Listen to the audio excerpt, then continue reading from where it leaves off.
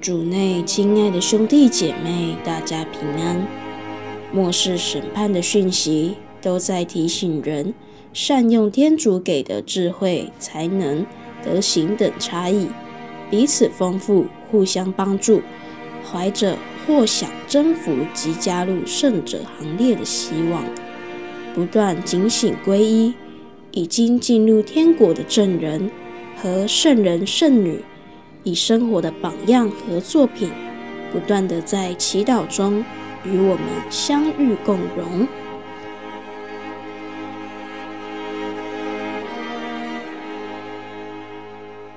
那些先进入天国的证人，特别是教会册封的圣人圣女，他们以爱的生活和作品传承到今天。仍然于祈祷中与我们相遇共荣。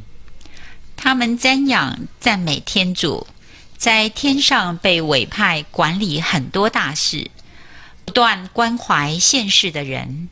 在天主计划里，他们的代祷是众生获得应许的最佳推手。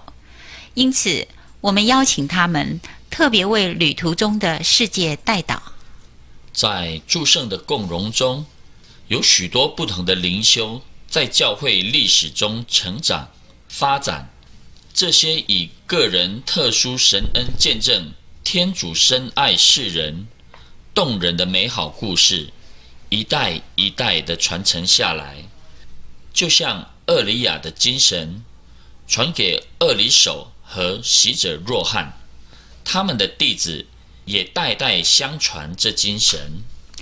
在礼仪和神学的交流中，逐渐的融合，产生信仰本地化的灵修，提供信友宝贵的灵修指引。圣巴西略深深体会圣神于各种祈祷灵修的灵在，圣神是诸圣的住处，圣人是圣神的适当居所，因为圣人奉献自己作为天主的住所。并被称为天主的圣殿。基督徒家庭是祈祷教育的第一所学校。家庭奠基于婚姻盛世，而成为家庭教会。每天的家庭祈祷是信仰生活的共同记忆和见证，不断的由圣神唤醒与滋润。天主的子女，尤其是儿童，在这里学习。坚忍和恒心的祈祷。身为基督善牧的仆人，圣职人员有责任培育兄弟姐妹耐心与恒心的祈祷。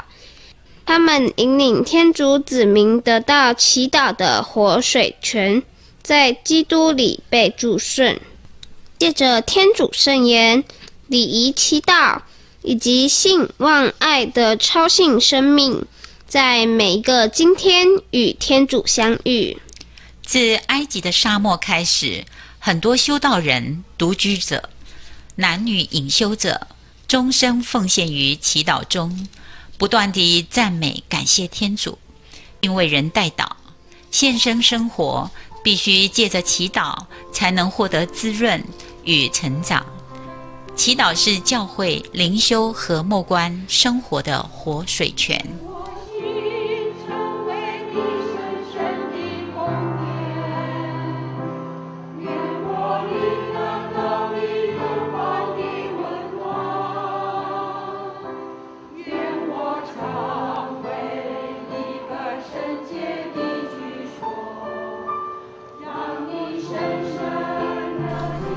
讲授教理，教导儿童、青年和成人的热心善功，也教导在个人祈祷中默想天主圣言，希望能在心中深化、内化，而后实行，期待能结出果实。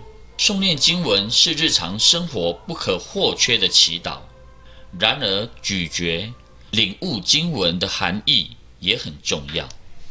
祈祷小组、关怀小组或祈祷学校是教会祈祷的重要标记和更新祈祷的活泼动力。为了灵修的成长与教会的发展，圣神赐给一些基督徒智慧、信德和分辨的恩典。请问老师，要让祈祷生活更上层楼，需要有灵修老师指导吗？是的，神修大师圣十字若望对于慎选神师有独到的看法。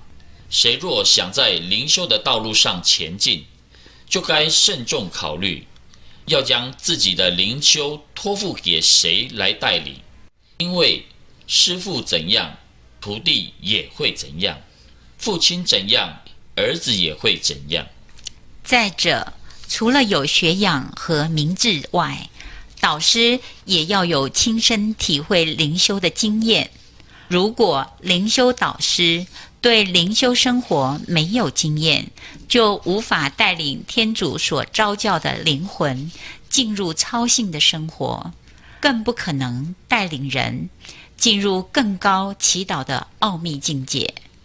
请问老师，哪些地方可以让我们更专注、更有效地祈祷呢？一、圣堂是堂区团体举行盛事、礼仪和祈祷最适合的地方，是朝拜圣体的最佳场所，也是最能让信友虔诚、专注、宁静的祈祷地点。二。在基督徒的家庭中安放圣经和圣像，有助于个人的默观祈祷，有益于和天父交谈。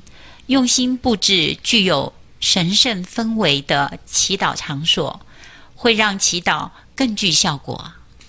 三，隐修院及其辖区，有助于附近的信友参与时辰诵祷，提供。安静独居、退醒的机会，引领帮助个人与天主密切的会晤、交谈。